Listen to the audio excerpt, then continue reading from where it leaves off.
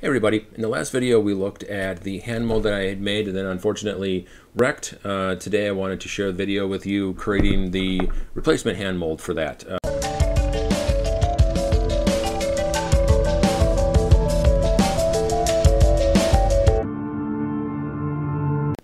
All right, so as we talked about in the last video, uh, it's, a, it's a standard, it's a pretty easy process to do. Um, find a subject that's willing to let you cast uh, their hand um, and then uh, you know walk through the process. There's lots of videos out there on the internet on how to do this.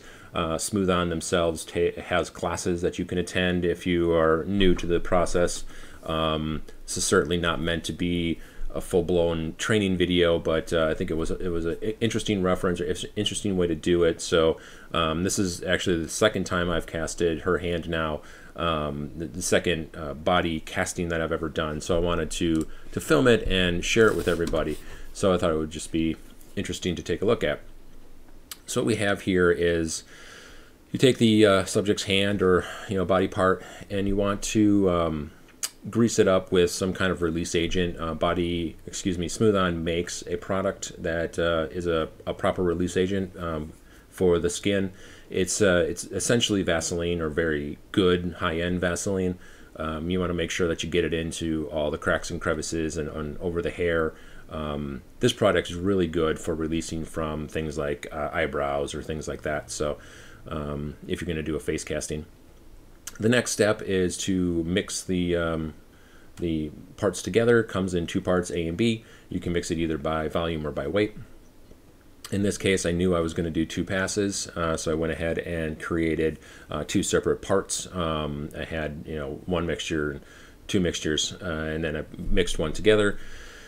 Um, the first problem that you have is uh, it's it's very liquidy. Uh, as you can see, it's wanting just to sort of run right through the fingers, uh, through the spaces.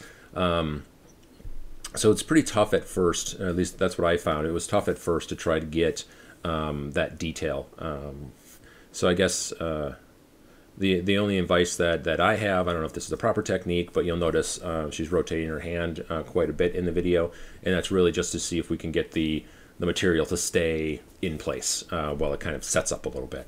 Um, and that's also why I wanted to do multiple passes, so I could get sort of a thin layer um, on as a base, um, hopefully get the detail of the, of the fingers um, and of the hand, and get it in the correct position and then as it starts to sort of set up and, and thicken up, um, you can kind of get it to, you know, act uh, act the way you want it to, and get it to stay where you want it to stay. So there was a lot of uh, hand rotating and scraping up off the off the uh, table and, and kind of dumping it back on, um, and then sort of uh, just trying to get it to to stay where we wanted it to stay.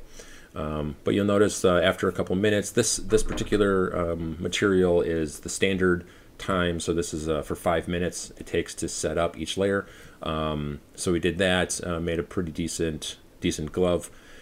And then uh, we had the second coat. The second coat uh, I really wanted to build up. You'll notice um, you can see in the shot here the first coat. There's still some skin showing on the thumb and uh, there's not a lot of material between the thumb and uh, fingers. So I wanted to really build up that area and also the wrist area, which is what I'm doing now. I wanted to make sure that area was uh, had a pretty thick uh, coating on it because that's sort of going to be the entry point, right, for all the uh, material and all the bones and things I'm going to put into it. So I want to make sure that's got um, got some good thickness to it.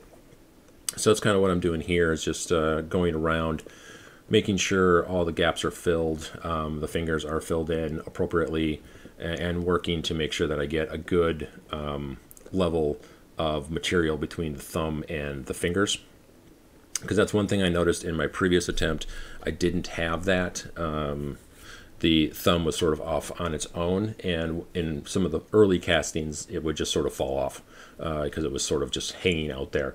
Um, so I wanted to really kind of beef that up. I also had uh, the hand in a little bit of a different orientation. Um, the last uh, mold was a little bit, the fingers were spread a little bit wider. This, they're a little bit tighter, uh, so hopefully that will help as well as I cast it. I haven't made a cast yet, or excuse me, I haven't made a duplicate yet. Um, that will be happening hopefully in the next few days. And uh, so yeah, hopefully that will work out well. But we, um, you know use as many passes as you need to. Like I said, in my in my case, I did uh, two, um, filling in all the cracks and crevices uh, as needed. So after that dries, the next step is to create the, the plaster cast. And Smooth On also sells these plaster band-aids. You can get these online anywhere as well. Um, I don't believe there's really anything special about um, what's purchased through uh, Smooth On. It's just convenient. They have everything that you need. Um, so basically, what I, it comes in a comes in a roll, um, kind of like a, a, typical bandage um, where it's, you know, it's just a roll of material. And I just cut it up into various uh, sizes. I think it's three or four inches uh, thick-ish. And um, just go ahead and, uh, and start laying it out. Uh, dip it in water, of course, it's plaster-based, and then put it on. One thing I wanted to, to mention is creating the parting line. This is, this is pretty important. You want to make sure that you're creating a pretty uh, solid, thick line around the, um, the perimeter of your uh, mold. So you create the parting line. Uh, if you'll notice what I'm doing, uh, you can kind of see it sticking out there at the top of the, of the hand.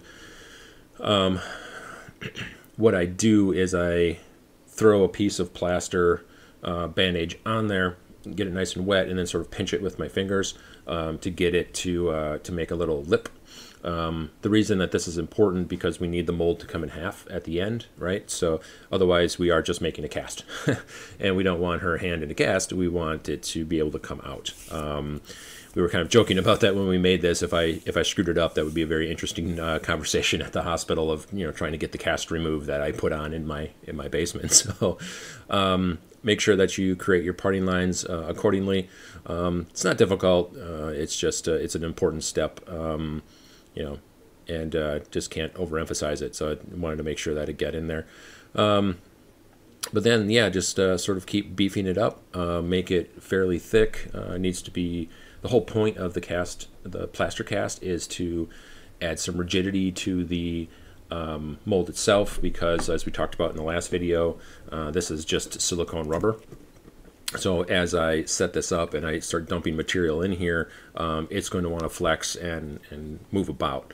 Um, so the whole point of the plaster is really just to add some rigidity to the uh, to the cast or to the mold, uh, so that, that way it doesn't just kind of flop about while you're while you're trying to make your duplicate. So yeah, you do that. Um, I like to use a hair dryer to uh, to kind of speed up the drying process. Um, the other uh, important part is applying the release agent to the um, parting line. So make sure that you get that uh, well covered um, in, uh, in, release agent. You probably could just use Vaseline at this point since it's not really uh, needing to be released from like hair or anything like that of the human human body. But uh, it's it's important to release it from itself because obviously plaster sticks to plaster, right? That's the point. So make sure that you grease up that uh, that parting line really well, um, and uh, that way you can get it uh, get it separate. Um, you also notice to do a little bit of trimming to make sure that it's going to come apart correctly. Uh, if you're unfamiliar with uh, making molds, uh, this is all pretty standard stuff. there's lots of videos out there on how to make a two-part mold. Um, it's kind of what we're sort of doing here because um, it's going to be separated. But uh, yeah, you just do the second coat and start um, start laying it back together. Uh, so you do that, and then eventually you get um, you know the two parts together. then uh, what I what I did is that you go around and uh, make sure it's nice and dry or pretty dry. Um, I don't let it um, set up 100%. I do let it uh, get really stiff and rigid but um, I guess I'm, I'm a little bit more cautious. I want to make sure that I can get her hand out. Uh, so I, while it's still a little bit pliable, um, I, I start doing the demolding process. And that's it. You'll notice I had a screwdriver in there and I just kind of pry the mold apart, work them apart, um, make sure that uh, they come apart smoothly. I make a little uh, incision down the side of the, um, the material so she can wiggle her hand out and uh, and that's basically it.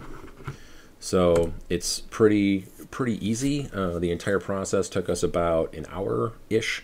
Um, and it's not uh, it's not difficult. So if you know, I encourage you to try it. Um, wasn't overly expensive either. I did um, her hand. So this is enough material to do uh, a full size human hand, uh, and this was the sample pack. So if you look online and you take a look at um, the different levels, because you can get them by the quart, the gallon, whatever, you only really need the sample size, uh, and that that was enough to do this.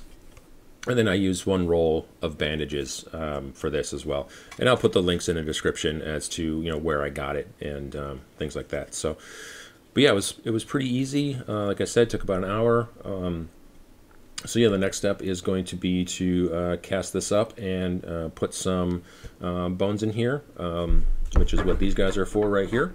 Uh, this will be the skeleton of her new hand. So we'll get that shoved into there and uh, hopefully get a new hand created in uh, the next couple of days. So thanks for watching. Um, let me know if you have any comments, questions, and we'll see you in the next video. Thank you for watching this episode of the Mayhem Lab. If you've enjoyed this video, please click like, and we will produce more videos like this one. Also, please consider clicking subscribe so you don't miss our latest content.